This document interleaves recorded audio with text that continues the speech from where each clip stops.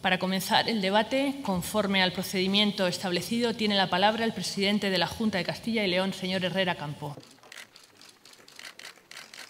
Sin duda, la ejecución de los compromisos inicialmente asumidos presenta hoy tanto luces como sombras y asumo la responsabilidad política de ambas, pero sigo creyendo que constituyen un buen proyecto para nuestra comunidad. Un proyecto que, además queremos actualizar a través de una serie de medidas correctoras o complementarias que demanda la nueva realidad, la realidad actual, cambiante y grave. Al igual que el conjunto de España y también que la Unión Europea, Castilla y León, los castellanos y leoneses, afrontamos graves dificultades y problemas en nuestro presente. Y creo que todos sabemos que el inmediato futuro no va a ser fácil para nadie y que nos esperan nuevos esfuerzos exigentes.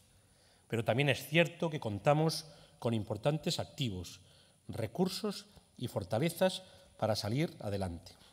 Ellos son nuestra mejor oportunidad. Ellos son la fuerza de nuestra voluntad y desde luego son también nuestra mayor esperanza.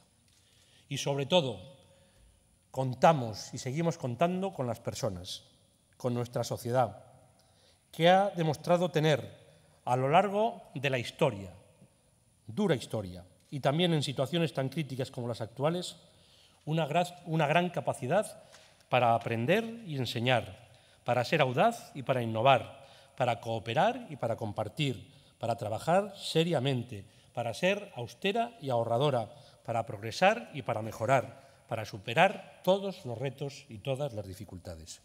Creo que por todo ello, ahora debemos tener confianza más que nunca en nosotros mismos, desde la convicción de que con esfuerzos y sacrificios, sí, por supuesto, pero también con un sentido práctico, realista y constructivo, vamos a ser, podemos ser capaces de ganar el futuro. Muchas gracias, señorías.